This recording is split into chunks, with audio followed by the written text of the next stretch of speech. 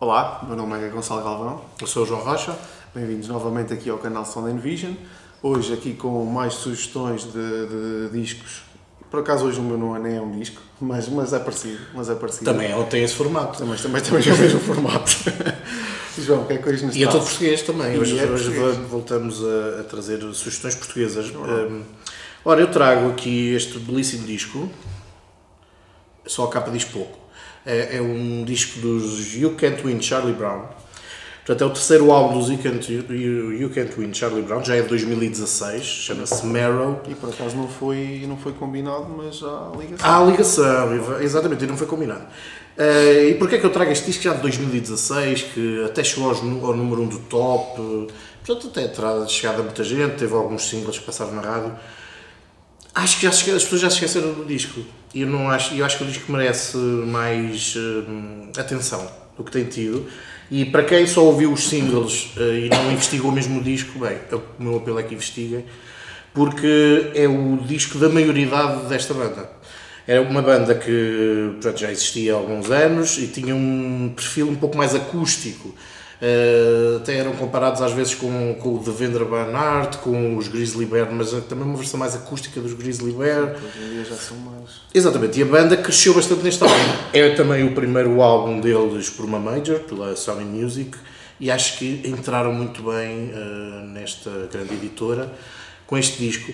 Eh, portanto, é um disco que tem muito mais guitarra elétrica, mais sintetizadores, tem um som muito mais expandido do que propriamente os discos anteriores, mas continua a ter eh, as melodias bastante complexas e, e bonitas e variadas e, e com muita classe e bom gosto que já demonstraram nos discos anteriores e portanto a banda mantém essa portanto é uma banda daquelas bandas que até quando se ouve ao vivo se percebe é uma, uma banda de qualidade, ou seja, uma banda com, que devem ser há muito, em que os músicos são bons e, e tudo aquilo funciona com muita qualidade. Há pessoas que até ouvem os You Can't Win Charlie Brown, isto desde o início da banda, e que dizem que parece uma banda estrangeira. Nós hoje em dia já temos tantas bandas portuguesas boas que já este, este conceito de que as bandas portuguesas boas parecem estrangeiras já se perdeu um bocado, eh, felizmente, porque nós também fazemos grande música. E, e, de facto este é um dos grandes exemplos, esta, esta banda eh, composta por Afonso Cabral, Salvador Menezes, Tomás Souza, David Santos, João Gil e Luís Costa. David Santos, que toda a gente conhece um pouco mais como Noiserve, é, portanto é elemento desta banda. Ahm, e já vamos falar dele a seguir, não é? É verdade. E É. funciona muito bem ao vivo essa. Mas o You Can't Win Charlie Brown. Tivemos o. Nós de ver, ano passado exatamente, em Paredes, Paredes de Cora. Cora. Um concerto assim a abrir eh, o palco naquele dia, mas com muita qualidade. Um, um concerto sólido, uma banda já com rodagem e com muito talento.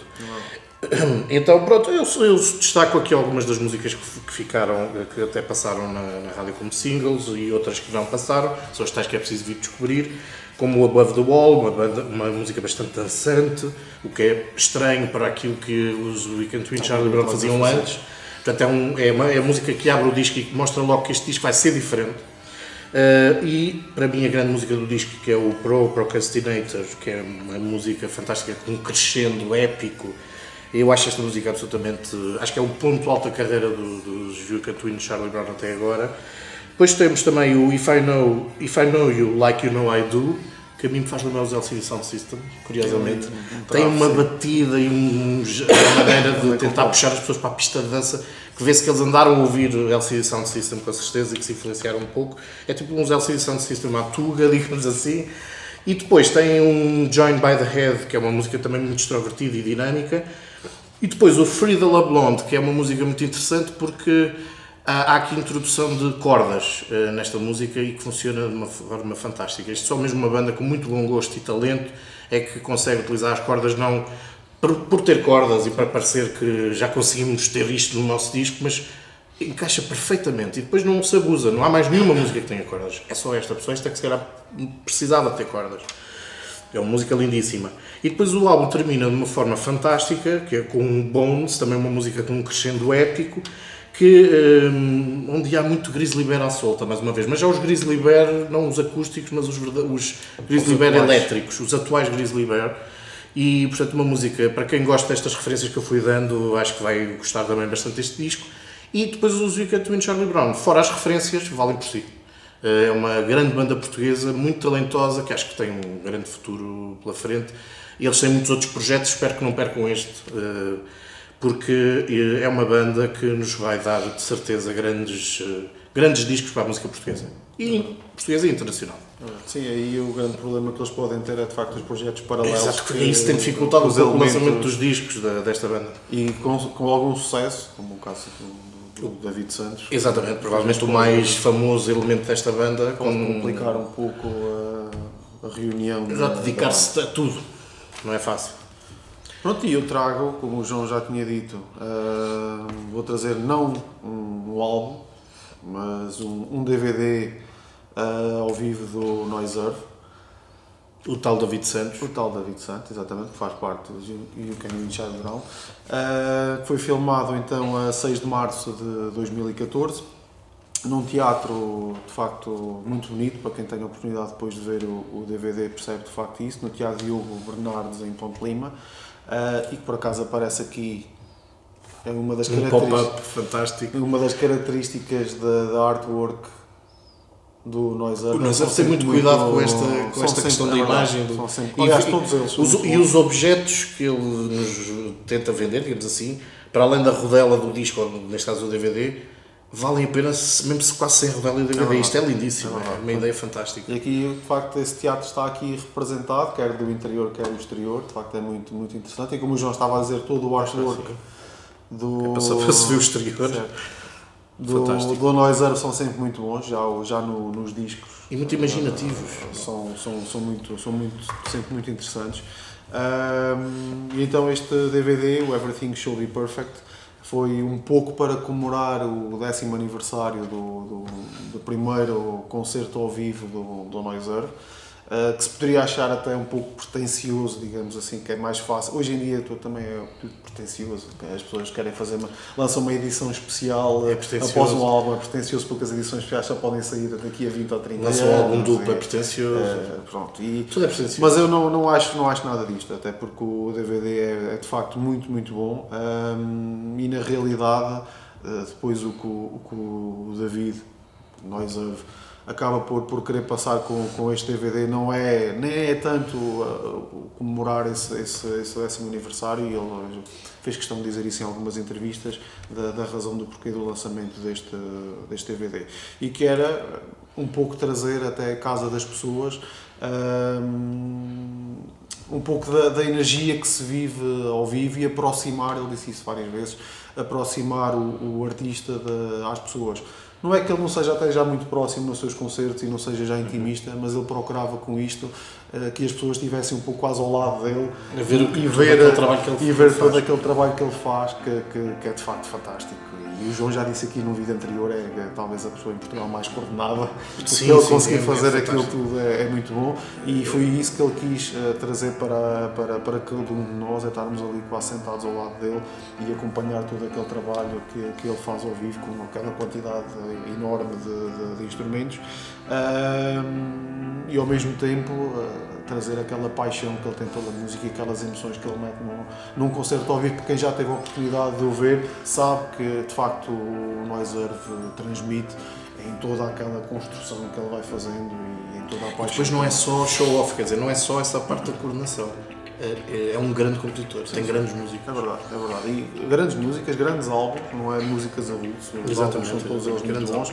E ao vivo, de facto, é uma, uma, experiência, não só para essa construção, como nós dizemos, mas mesmo ouvir as próprias músicas funcionam extremamente bem. Não, e o e cuidado que ele até tem de nos explicar o trabalho que as músicas implicaram, ele explica muito o que é que esteve por trás da criação das músicas.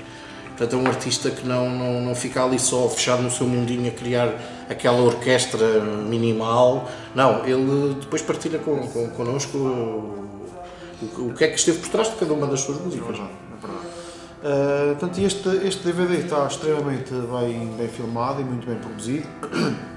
Vê-se que também houve todo esse cuidado de, de, fazer e fazer bem, não é só chegar e filmar e trazer para as pessoas, ou de facto esse cuidado de trazer a, a emoção da música da Noiser para, para quem aqui está ao lado e, e essa proximidade ainda maior de, das pessoas ao, ao artista uh, e cumpre exatamente com essa ideia que o Noiser quis, quis vender-nos, porque quem tem a oportunidade de ver este DVD percebe exatamente que, e fica envolvido em todo aquele processo no, do, do, do concerto do, do Noise Earth. Uh, e pronto, ele com isto de facto consegue mostrar-nos todos os ambientes que, que, vivemos nesse, nesse concerto, na altura, na tour da, do Avo, uh, portanto, o seu penúltimo álbum, uh, e que é um belíssimo, belíssimo álbum, portanto eu já falei aqui no vídeo anterior, portanto, do último, Uh, e o anterior, para além também ter uma artwork muito, muito boa, diz que é um, é um belíssimo, belíssimo disco. E esta tour foi, foi muito boa. Uh, tanto este DVD tem então nove canções, onde ele utilizou 24 instrumentos e que tem depois então um, um extra final com um filme de, de, como é que se constrói todo, todo o concerto, ou antes do concerto, também bastante, bastante interessante. Portanto, também a preocupação de nós a mostrar tudo o que é um dia de, de, de concerto de Moisés. Portanto, aqui com a parte musical, tudo o que acontece no concerto e depois mostra-nos num, num é extra o que é que está O que é que indicou a preparação desse concerto. Exatamente.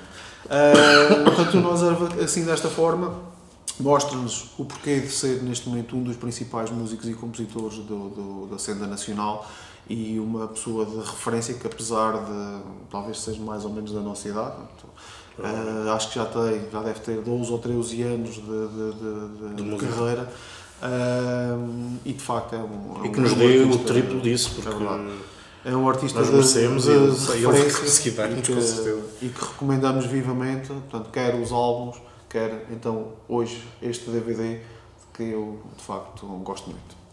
Muito bem e aí ficamos então com duas sugestões novamente em português Epá, e, e, e estão muito bem entregues. Uma ligação tão grande entre elas, é verdade, impressionante. Portanto, Sem combinar. Que, mais uma vez está um belíssimo vídeo com duas grandes sugestões. Portanto, espero que gostem, que no caso de não conhecerem, espero que procurem e que gostem tanto como nós gostamos destes dois projetos, que de facto valem muito a pena e mostram toda a força que está a acontecer na, na música Muita portuguesa. coisa boa na música portuguesa atualmente.